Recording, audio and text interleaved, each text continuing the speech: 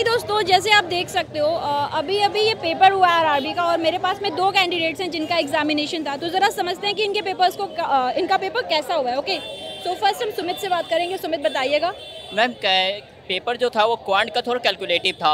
अगर अगर हम पहले जितना भी कोशिश करो पहले की कोशिश करना हमें सिंप्लीफिकेशन क्वाड्रेटिक ये सब कंप्लीट कर देना चाहिए क्योंकि जो कि पेपर है उसका डी आई थोड़ा कैलकुलेटिव होने के कारण तो हमें परेशानी हुई और साथ ही साथ अर्थमेटिक जो था वो थोड़ा हल्का लेंदी पड़ रहा था। ओके हाँ और बाकी रीजनिंग की जो क्वेश्चन आई थी वो मैक्सिमम इजी ही थी बस एक क्वेश्चन लास्ट का था जो जनवरी बेस मंथ बेस्ड क्वेश्चन था जिसमें हमारे दो चीज़ें थी एक आपका पर्सन और एक सब्जेक्ट थी। वो हल्का लेंदी था लेकिन इजी बन गया था।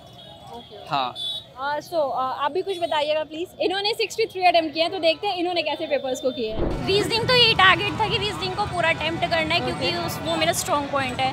क्वांट में ये होता है कि थोड़ा कैलकुलेटिव हो जाता है और सेलेक्ट करना पड़ता है क्वेश्चन तो रीजनिंग तो वन गो में हो रहा था। Okay. तीन चार पजल्स थी उसमें बाकी वन लाइनर्स भी थे सिलॉग्स भी था और चाइनीज़ कोडिंग भी थी। और क्वांट में क्वांट भी सही था जैसे नॉर्मली होता है ना क्वेश्चंस इक्वेशन। मिसिंग सीरीज़ थी और दो डीआई थी एक लाइन वाली डीआई थी एंड हाँ। एक ग्राफ वैसे चार्ट वाली डीआई थी। ओके okay, दोनों में इजी क्या लगा रीजनिंग या क्वांट रीजनिंग रीजनिंग रीजनिंग आपको इजी क्या लगा रीजनिंग या क्वांट रीजनिंग इजी था। रीजनिंग हाँ। जैसे आप देख सकते हो रीजनिंग जो है कंपैरेटिवली इजी थी और रीजनिंग पे लोगों का भरोसा थोड़ा और ज़्यादा हो गया। अच्छा इस एग्ज़ाम में स्पीड का क्या महत्व था? हमें स्पीड तो बहुत चाहिए थी क्योंकि क्वांट के टाइम पे मैं ना लिटरली शिवर कर रही थी और Okay. उसके चक्कर में एक दो क्वेश्चन छूट मतलब हो सकता था कि मैं शिवर नहीं करती बट हो। जाता। सिक्सटी फाइव सिक्सटी सिक्स तक हो जाएगा अगर किसी बच्चे ने अच्छे से मेहनत की होगी तो। आपको क्या लगा स्पीड का क्या महत्व था? मैम स्पीड का महत्व और सबसे पहले क्वेश्चन चॉइस सबसे ज़्यादा अगर क्वेश्चन चॉइस अगर सही ढंग से नहीं करेंगे ना तो इसके कारण ही अटेम्प्ट गड़बड़ा जाता है। और यही मेरे साथ हुआ मैंने क्वेश्चन चॉइस सही ढंग से नहीं की जिसके कारण मेरा अटेम्प्ट थोड़ा गिर गया।